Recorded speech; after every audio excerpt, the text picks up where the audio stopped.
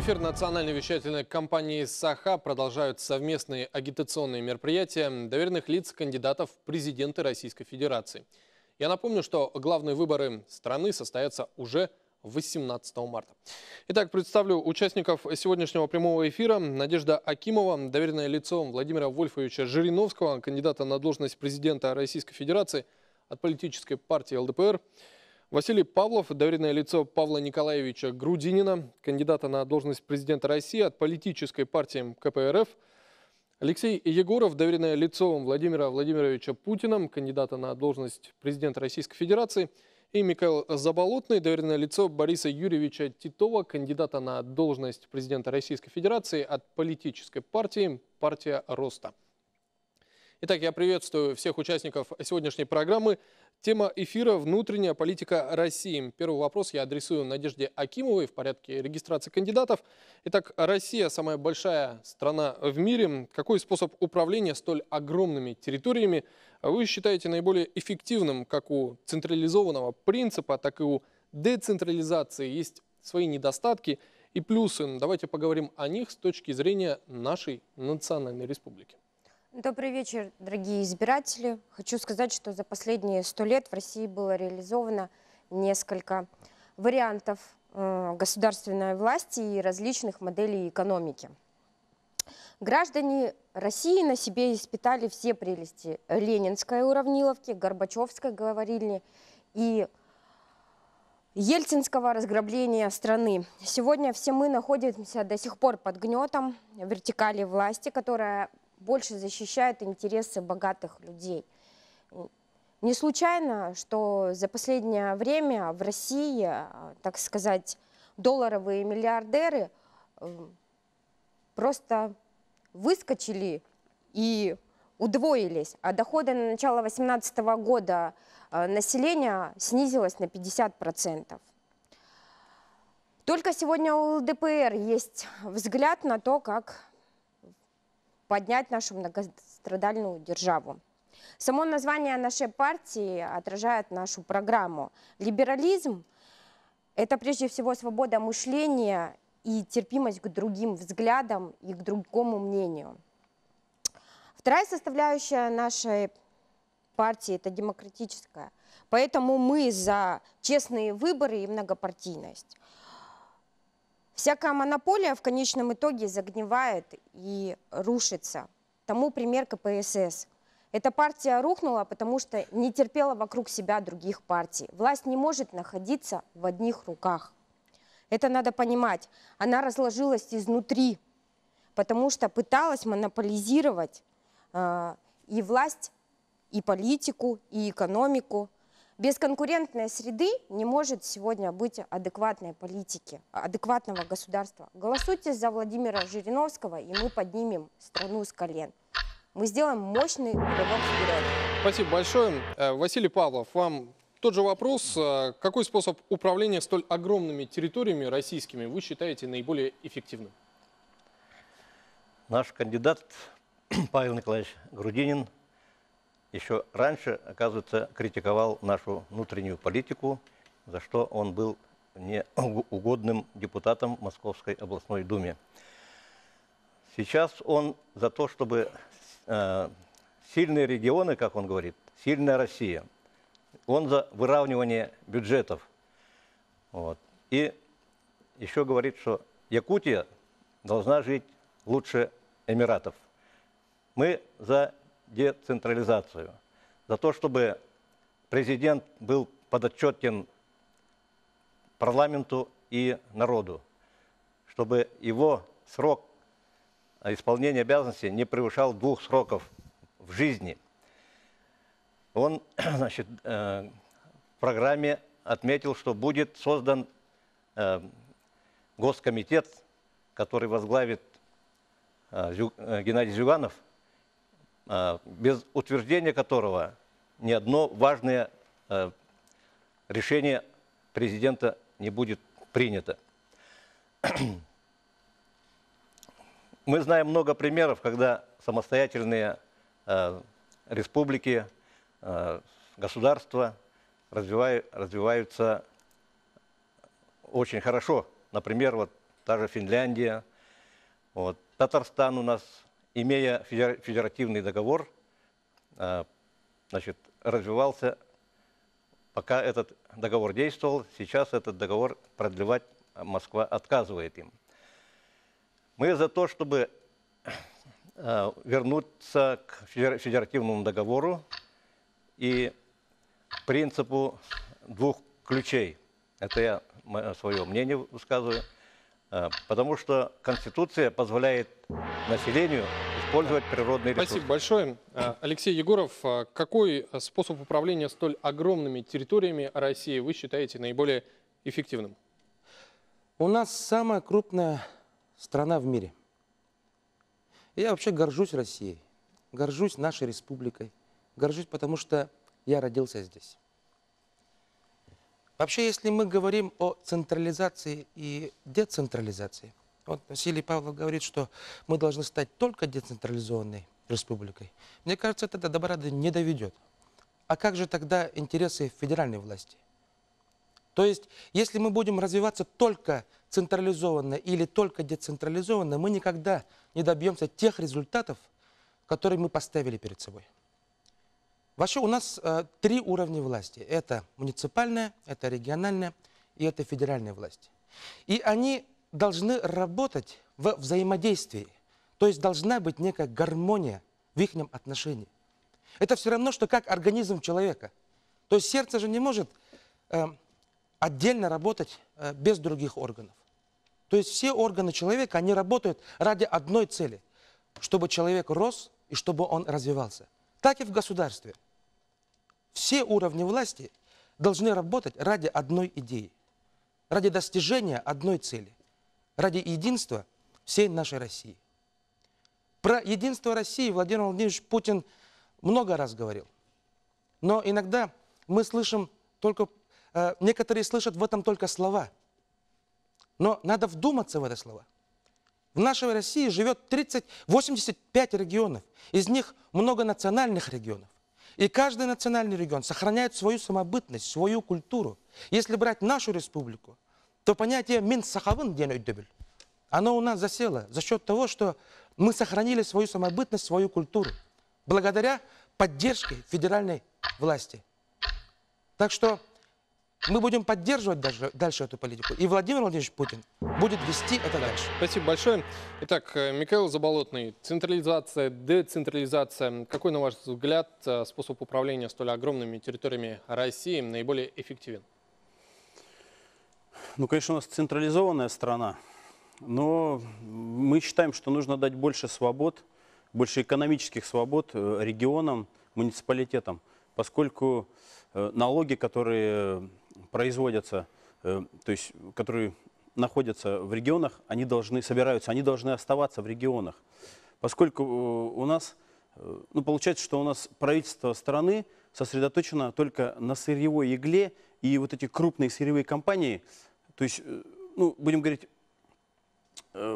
все направлено вот на, на работу этих компаний, на улучшение работы этих компаний и на приоритеты этих компаний. Хотя у нас есть огромный потенциал, мы можем создать очень много рабочих мест, нам нужно влить в экономику полтора триллиона рублей с Центробанка. Кстати говоря, такие деньги есть, можем использовать. Вот у нас есть значит, программа «Стратегия роста», которую мы предлагаем нынешнему президенту и которую мы хотим после 2018 года, 18 марта, чтобы все-таки она ну, стала основной стратегией развития экономики страны. Поскольку экономика, стратегия роста – это новая экономическая политика. Мы предлагаем развитие малых предпринимательств, развитие производств, создание рабочих мест, создание 100 кластеров по всей стране, то есть в определенных городах, которые соответствуют тем или иным требованиям, ну я имею в виду производство, снизить налоговые налоговое бремя, снизить тарифы, снизить э, затраты на транспортную схему. Вот, к примеру, э, если брать, вот, например, нашу местную компанию Сахатранснефтегаз, вот у нее монополия на газ.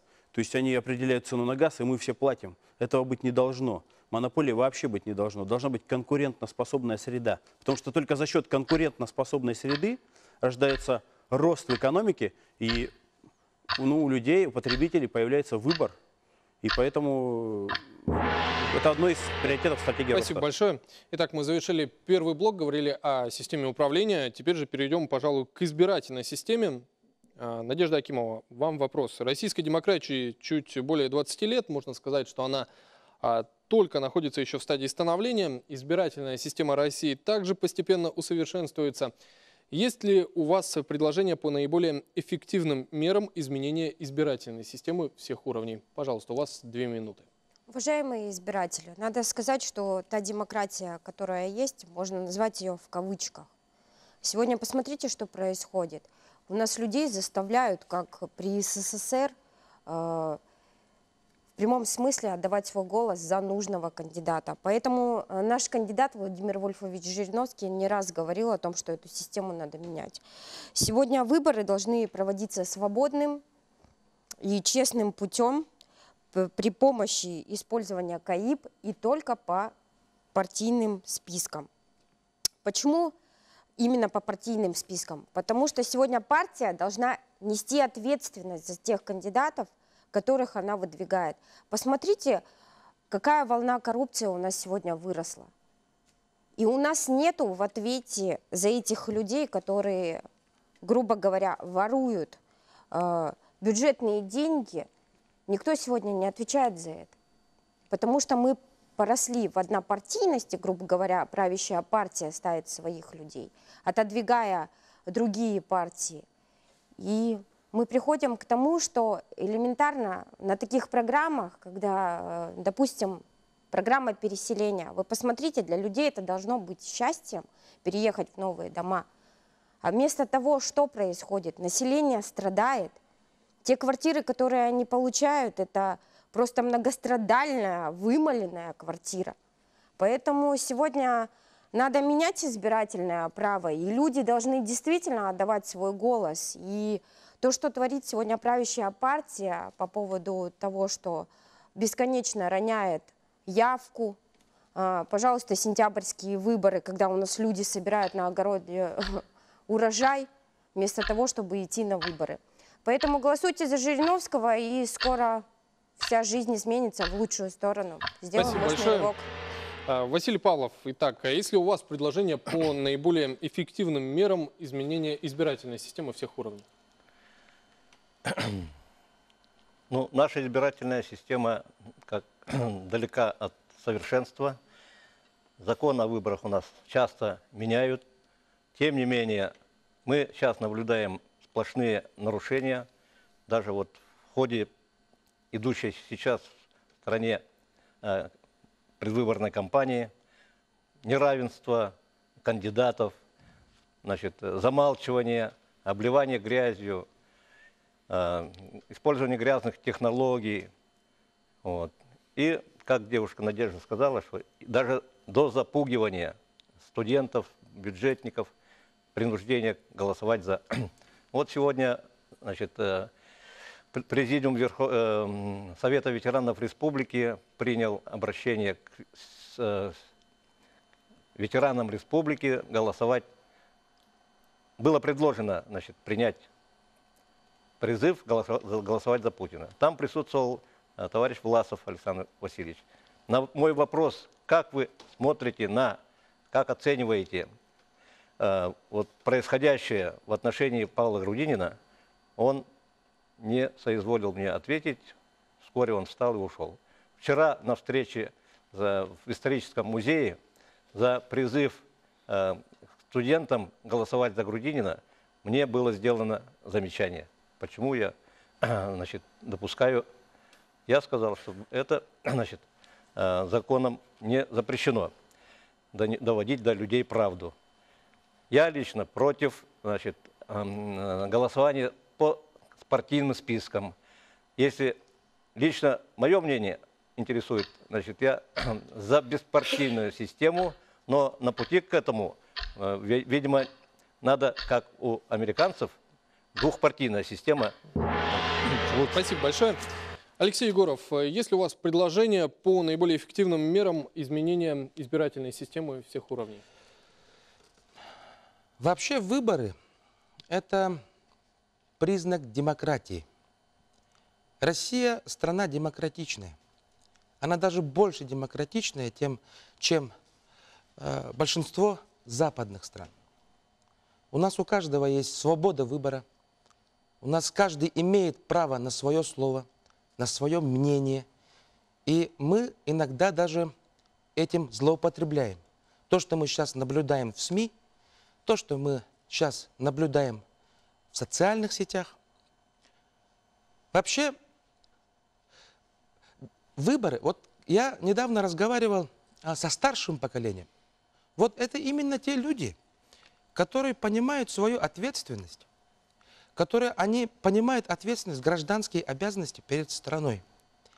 Выборы это, это возможность э, предъявить свое право. Это возможность поучаствовать в выборе будущей страны. И оно нам дается. На выборы имеет право идти каждый, кто достиг совершеннолетия. И мне кажется, наше подрастающее поколение, нам надо это им объяснить. Именно родители должны объяснить им, насколько важно идти на выборы. Потому что они не до конца понимают. Они относятся к этому немного снисходительно. Они думают, что и без них сделается выбор. Но ведь это уникальная возможность. Надо понять то, что каждый человек строит судьбу нашей страны. Что мы творим историю. Что на этих выборах, которые состоятся 18 марта, мы излагаем свое мнение. Мы голосуем за будущего президента. И я призываю вас, как доверенное лицо Владимира Владимировича Путина, голосовать за сильного президента, сильной России, Владимира Владимировича Путина. Спасибо большое. Ну и завершающий вопрос э, Михаилу Заболотному. Есть ли у вас предложение по наиболее эффективным мерам изменения избирательной системы всех уровней? У нас в России, как известно, демократия. А как сказал Уинстон Черчилль, демократия наихудший из строев существующих. Но, к сожалению, другого нет. Поэтому, к сожалению или к счастью, у нас демократия. Э, что хочу сказать по поводу избирательного права. Э, вот почему мы предлагаем эту экономическую политику, стратегию роста? Мы предлагаем изменения полностью в экономической системе страны. То есть у нас не просто политическая программа, мы предлагаем новую экономику. И если люди придут проголосовать, то экономика страны э, может измениться. То есть это зависит как раз от конкретных избирателей. Значит, один момент. Вот, к примеру, почему сегодня работающие люди чувствуют себя бедными. И вот вы заметили, последние годы мы все беднеем и беднеем. А ведь это неправильное ощущение, это такого просто быть не должно. Это огромные риски вообще для страны. То есть у нас нет ощущения, что мы к чему-то стремимся. То есть нужно нам менять в кардинальном смысле экономику э, всей страны. Э, вот, например, если брать, допустим, Китайскую Народную Республику, 1% роста, 1% роста равен нашим 5,3%. То есть, представляете, нам нужно 5,3% значит, роста экономики, чтобы мы просто сравнялись с Китаем. А нам ведь нужно расти, нам ведь нужны... Что нам нужно? Нам нужны биотехнологические ресурсы, нам нужна криптовалюта, нам нужны э, блокчейны. Ну, эти непонятные слова я позже вам расшифрую. Нам нужны новые рабочие места, новые производительные предприятия. Нам нужно убрать напряжение на малый бизнес. То есть нам нужно убрать налоги, снизить налоги, снизить тарифы, сделать ставку рефинансирования у Центробанка, то есть э, сделать доступные кредиты. Нам нужно э, изменить транспортную схему, то есть убавить тоже платежи. Ну и социальная ответственность. Вот, получается, да? Но и при всем при этом риски в нашей стране у наших предпринимателей очень высокие. Мы Спасибо хотим большое. это изменить. Да. Спасибо большое. Итак, мы переходим к третьему блоку, к местному самоуправлению. Итак, Надежда Акимова, местное самоуправление в России – основа демократического устройства общества. Как вы считаете, готовы ли наши граждане к осознанному обладанию этой властью? У вас ровно одна минута. Давайте вместе порассуждаем, что такое местное самоуправление, что такое вообще, в принципе, исполнительная власть, на которую сегодня возлагают, да, э, значит, вести, так сказать, то или иное хозяйство, отвечать э, за тот или иной субъект. А, вообще Владимир Вольфович говорит о том, что мы сегодня должны поддерживать местное самоуправление, а направлять больше денег на его развитие.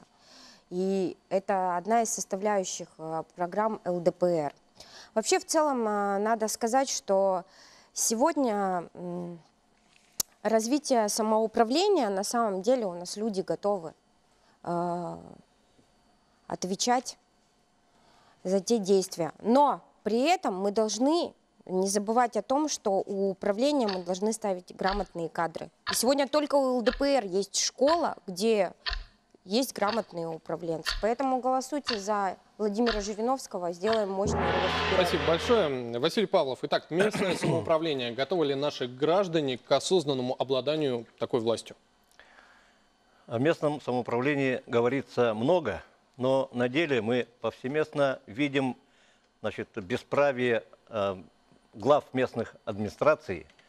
За, по, по простой причине отсутствия денег они не могут облагоустроить свои населенные пункты, жилые дома, построить нормальную дорогу, осветить улицы, провести газопровод и так далее. Например, там, где я живу, мы сами, собравшись, э, проводили даже с- газопровод, построили мост и отстроили себе дорогу, периодически ее ремонтируем. Так не должно быть.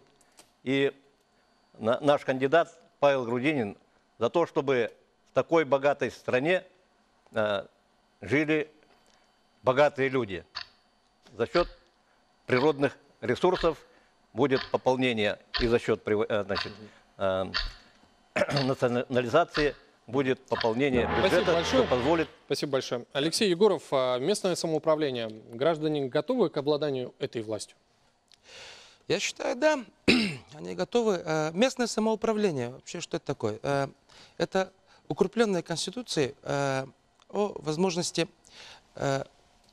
выдвижения власти от народа. Да? То есть народ выбирает именно ту власть, а народ создает эту власть, с которой она будет как бы работать. Местное самоуправление – это вообще фундамент власти. Это именно то, та власть, которая напрямую общается с народом, э, которая вникает в их проблемы и которая непосредственно э, решает все задачи, э, которые нужны именно той территории.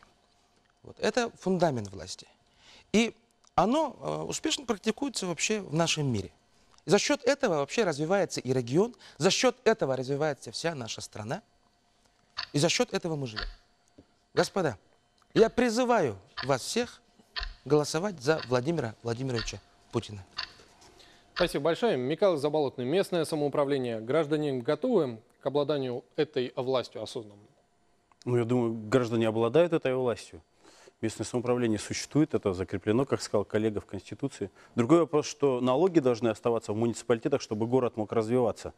Э, И должно быть развитие предпринимательства, должно быть развитие предприятий, создание новых. Как раз эти деньги можно использовать. А у нас ведь как, если вы следите за публикациями, за средствами массовой информации, то увидите, что у нас, это даже по этим ощущениям видно, что средства все уходят в центр. А что такое? э, Это ведет к подавлению экономического развития вообще субъектов и муниципалитетов. Мы вообще за то, чтобы развивать каждый город в отдельности.